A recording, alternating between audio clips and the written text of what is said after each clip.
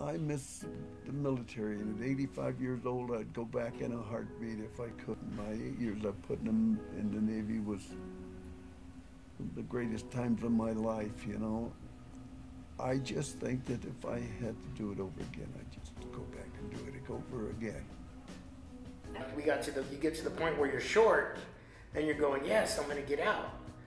And the reason I did get out of the military was because I happened to be in Beirut, Lebanon in 1983, right after they bombed the embassy. So when I got short, it was like I wanted to stay, but my parents said no.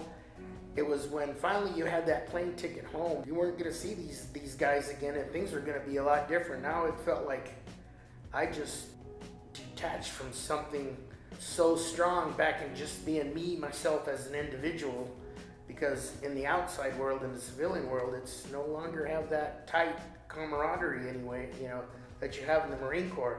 You go back into a, a civilian shock, you know. Coming back home and seeing my friends that I had left four years ago still working at Denny's restaurant, and I had done so much, and I didn't want to go back to doing that anymore. I wanted something different. Now I just didn't want to just do any old thing. Well, when I was out of the military, I was a, a did the civilian thing for good six, seven years as an engineer in Denver. I was, uh, I mean, I'm what you would call a functional alcoholic. Um, I was a good engineer. It was my friends, mainly family, parents and sisters, that said, "Mark, you know, you have you have a problem." And this is, they um, they said I needed help. So that journey started back in late 2016. I was very fortunate to have a loving support system.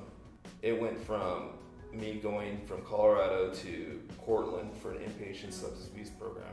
And uh, then uh, after a lot of medical appointments with psychologists, psychiatrists, and, and such, and then that's when they were like, Mark, you need uh, inpatient PTSD.